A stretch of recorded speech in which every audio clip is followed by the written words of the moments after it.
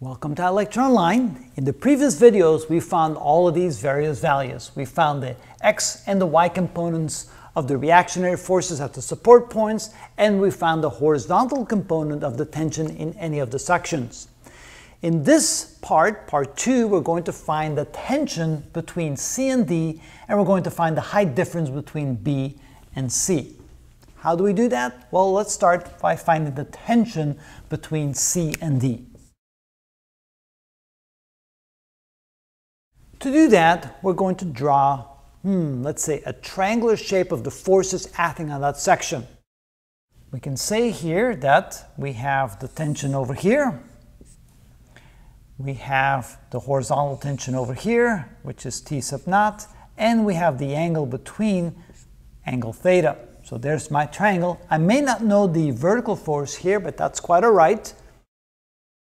The reason is because I know what theta is equal to. Based on the geometry, this being 1 meter and this being 3 meters, we took the arctangent of that ratio and we got 18.435 degrees. We're looking for t, this is t, cd, I'll put cd down, but we know the horizontal component of the tension in each of the sections because they're all equal. The relationship between these, we can say that t sub naught, which is equal to the hypotenuse, times the cosine of the angle theta, which means that the tension from CD is equal to the horizontal component divided by the cosine of theta. Plugging in the numbers that we know, T sub naught, we found that to be 36,000 newtons. And we're going to divide that by the cosine of 18.435 degrees. And that should give us the tension in that particular section, 36,000 divided by the cosine 18.435. Take the cosine of that. That is equal to 37,000. 37,947 newtons. Of course, that's way more significant figures than we actually should have there, but hey, for that, for this exercise, that's good enough. So notice now that that allows us to find the tension in any one of the sections as long as we know the horizontal tension, which is typically known if you know the x components of the support reactionary forces, and if we know the angle of the section. All we have to do is divide t sub naught divided by the cosine of the angle of that section relative to the horizontal. And finally, we're trying to find y sub b. Again, to find that, we're going to find the moment about point B. Since we know the distance from D to C, we're going to find the moment about point B. The sum of the moments about B is equal to zero. Why do we do that? Because that will give us y sub b. Let's see how that works. Again, we're only going to consider the left side of the, the cable. We're going to ignore everything to the right of B. Why can we do that? Because it's a cable, it's not a what we call a solid structure, and so therefore we can consider only any one of the sections in any of the cables. First of all, we have a sub y, which will give us a clockwise moment. That means it's minus a sub y multiplied times the distance from there to the pivot point, which is 4 meters.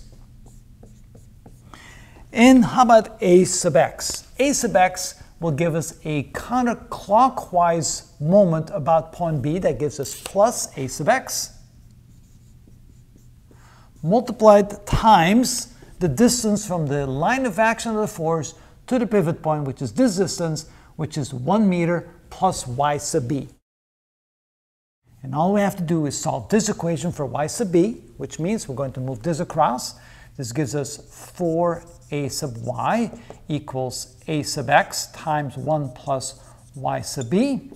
Divide both sides by a sub x, so we get 4a sub y divided by a sub x equals 1 plus y sub b. And finally, by subtracting 1 from both sides, we get 4a sub y divided by a sub x minus 1 equals y sub b, which means that y sub b is equal to 4 times a sub y, which is 10,000 newtons, divided by a sub x, which is 36,000 newtons,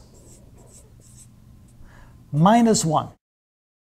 So we get 40,000 divided by 36,000. Subtract 1 from that, and we get 0.11 meter, so 11 centimeters. And that would be y sub e.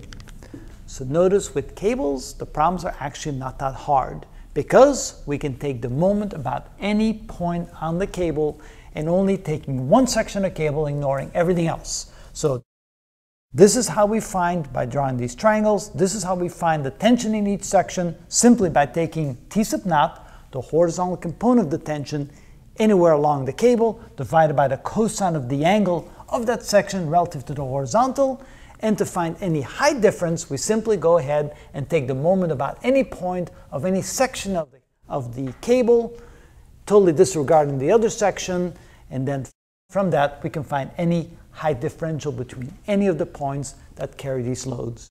And that's how it's done.